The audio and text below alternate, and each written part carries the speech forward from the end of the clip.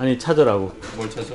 이 중에서 지금 오파츠를 거실에 있으면 안 되는 유물 오늘 며칠이지? 10월 25일. 2019년 10월 25일 날 있으면 안 되는 오파츠가 어떤 게 있지? 요거. 뭐지? 자 오파츠가 있다. 1660 슈퍼. 아마 어저께는 제가 웨이코스 제품을 올렸을 것 같아요. 오늘은 MSI Gaming X 1660 슈퍼에 대한 간단한 리뷰 영상. 1660 슈퍼가 굉장히 뜨거운 감자가 될 것 같습니다. 어제 영상에도 말씀을 드렸겠지만 좋아요 좋고 가격대나 이런 것들도 굉장히 좀 바람직하게 나온 그런 부분이 있어 가지고 1660 Gaming Z 동일 회사의 1660 Gaming Z와 1660 슈퍼 한번 뜯어가지고 간단하게 벤치 점수 또 한번 돌려보도록 하겠습니다. 인텔 CPU 본체 하나 준비해주세요. 생긴 모양은 완벽하게 똑같을 거예요. 너무나 완벽하게 똑같이 생겼고 아, 이 그래픽 카드는 저희들이 찍고 MSI 쪽에 반납을 할 거예요. 예, 영상용으로 저희들이 이제 빌려온 거라 이거 같은 경우는 원래 저희들 거예요. 그래서 아마 조금 저렴하게 이제 팔 수 있는 그렇다고 뭐 비닐 한번 뜯고 Time Spy 한번 뜯었다 해갖고 이게 뭐 반값이 되겠어요? 30% 할인을 하겠어요? 그렇게는 하진 않고 저희들이 판매를 하면서 그때그때 상황에 따라 가지고 한 10% 내외로 근데 한 번의 테스트에 그래픽카드는 하나밖에 없어요. 여러분들 가끔씩 오셔가지고 아 나도 뜯었던 거 줘, 나도 뜯었던 거 줘 하는데 이게 뭐 한 대 뜯은 거지 열 대를 뜯는 건 아니거든요. 이게 어, 잠깐 뒤로 돌아 있어봐. 아니 아니 그러지 말고 여기서 뒤로 좀 돌아 있어봐. number 아니 좀 돌아 있어봐 돌지 말고 number five.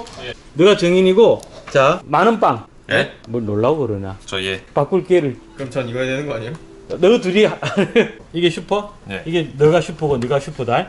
만 원씩 주라. 아닌 것 같은데. 보자. 얘네요. 어. 김민혜. 네가 네 만원 빼서 이거 주라. 김민혜. 어. 그렇게 보시다시피 완벽하게 똑같습니다. 그래서 외형으로는 구분을 할 수 있는 방법은 전혀 없어요. 이게 엔비디아 입장에서도 너무 많아요 종류가. 1650부터 해서 1660, 1660 슈퍼, 1660 Ti, 166 아니 뭐 어쨌든 너무 많아. 너무 너무 많은 가지고 카테고리 하나에도 Ti가 있고 슈퍼가 있고 이런 식으로 계속 나가니까 너무 많은 것 같아요. 그래서 아마 라인업이 조금은 정리가 되지 않을까. 라는 그런 생각이 들기는 듭니다. 1660하고 1660 Ti는 MSI의 Gaming X 같은 경우에 똑같이 Torx 3.0 팬이 달려 있고요. 라디에이터의 팬은 그냥 일직선이에요. 이제 wave를 준 그런 형태는 아니고 방열판이 굉장히 두꺼우면서 중간중간에 어, 틈을 내 가지고 열이 방출되게 해놓은 그런 디자인이 똑같이 유지가 되고 있습니다. 하나의 HDMI하고 세 개의 디스플레이 포트 똑같이 사이즈나 무게감도 완벽하, 완벽하게 똑같다고 보면 되고요. 여기 보시는 대로 CUDA 코어의 숫자도 똑같고 clock도 똑같다고 보시면 돼요. 단지 메모리 쪽에서 1660 같은 경우에는 DDR5의 메모리를 썼는데 1660 슈퍼 같은 경우에는 DDR6 메모리를 사용을 했죠. 메모리의 대역폭이 기존의 192기가에서 336기가로 좀 늘어난 그런 부분이 있습니다. 아마 1660 슈퍼가 기존의 1660 가격대 선을 거의 유지하는 쪽으로 출시가 되는 그런 것으로 예상이 됩니다. 그래서 곧 벤치를 돌려봐서 벤치 점수를 한번 뽑아보긴 할 건데 1660을 죽이겠다라는 그런 의미? 이 라인업을 정리를 하는 그런 쪽이 되지 않을까라고 생각을 합니다. 그러면서 이제 1650만 basic 모델로 남겨두겠다라는 그런 생각이 아닌가라는 1660과 1660 슈퍼의 Fire Strike 점수 Time Spy 그리고 하드웨어 모니터에서 어, 그래픽카드 GPU의 최고 온도를 재어보고 배그 프레임을 돌리면서 대략적인 몇 프레임 정도가 나오는지 한번 확인을 해보도록 할게요. 14579가 나왔습니다. Time Spy 점수는 5648 5648 와서 배그 한번 해봐봐 하드웨어 모니터 끄지 말고 내려가지고 낙하하고 첫 킬을 당하는 데까지. 이게 지금 CPU가 뭘로 테스트를 하고 있는 거지? 9700KF입니다. 지금 현재 9700KF로 메모리 16기가지. 아, 비행기 이륙했고 지금 필름 프레임이 130 똑같은 옵션으로 테스트를 할 거고요. 100, 보이는 데를 일단 적어 볼게요. 170, 150 뭐야 이거 다 144 이상 나오면 의미가 없잖아. 132 자, 107, 115, 100. 프레임 잘, 잘 나오는데 1660 노말이 사실은 굉장히 좋은 그래픽 카드야 이런 거 아, 보면. 어. 근데 100프레임 밑으로는 지금 전혀 떨어지지 않고 있네요.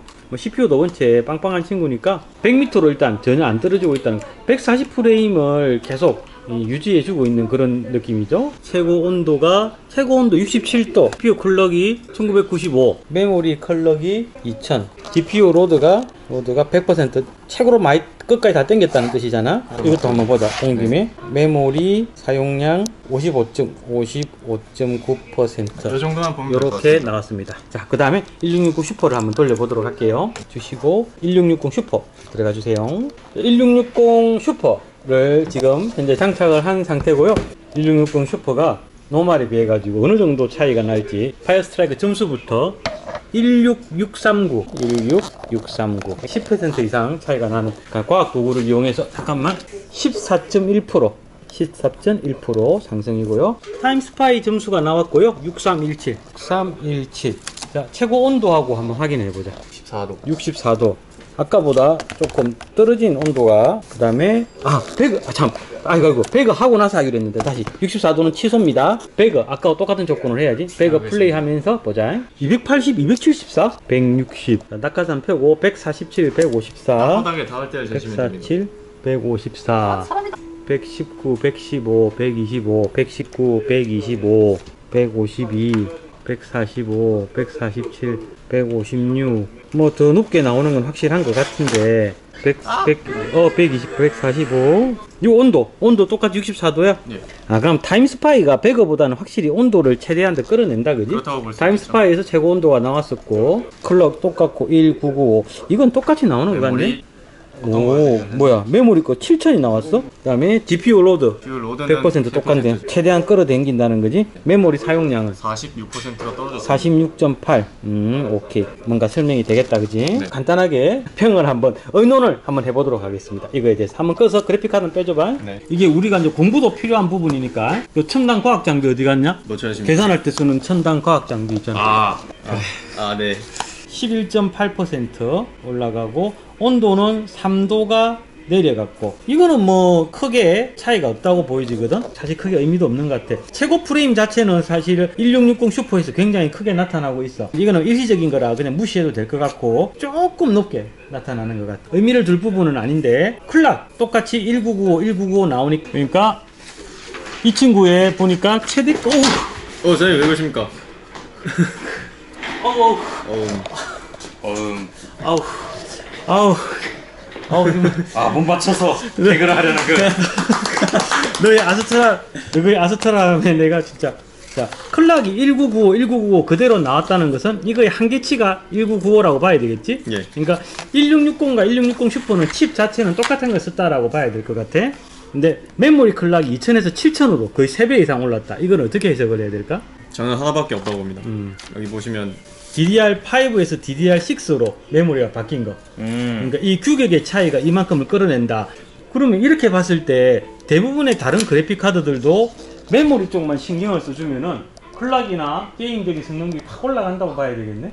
근데 다른 건 이미 GDDR6 아닌가요? DDR7이 꼭 나오겠지 뭐. 이런 식으로 치면은 나중에 슈퍼 시리즈를 만들어내기가 되게 좋겠어. 어, 내놓고 메모리만 바꿔주면은 막 rebuild가 막, 막 되는, 되는 거잖아. 슈퍼 2, 슈퍼 3 이런 식으로. GPU는 아마 Time Spy를 돌리면서 두 개가 다 최대한 100%를 땡긴 것 같고 메모리 사용량이 낮다는 건 어떻게 해석할 수 있지? 우리 남바천님. 얘가 좀 더 세니까 여유롭다 음. 뭐 이런 뜻을 했을 얘는 양끝 일을 안 해도 성능이 나온다 이 말인 거지. 일반적인 게임보다는 렌더링 작업을 할 때 그런 작업을 할 때 훨씬 더 효율을 볼 수 있을 거다 라고 이야기를 했거든. 뭐 간단하게 살펴봤지만 지금 나타난 수치들만 봐서는 개인적으로 짐작을 하기에는 1660은 어쩌면 사라져 버릴 가능성이 굉장히 많은 1660 슈퍼가 1660의 그 가격대를 채워 나가는 그런 양상이 되지 않을까라고 생각. 아 물론 제 저희들이 예상이 틀릴 수도 있지만 라인업도 너무 많고 너무 복잡하니까 일부 라인업이 좀 정리가 좀 될 것 같아요. TI하고 슈퍼들을 두고 normal들은 하나씩 좀 정리가 돼 나가지 않을까라는 그런 생각이 드네요.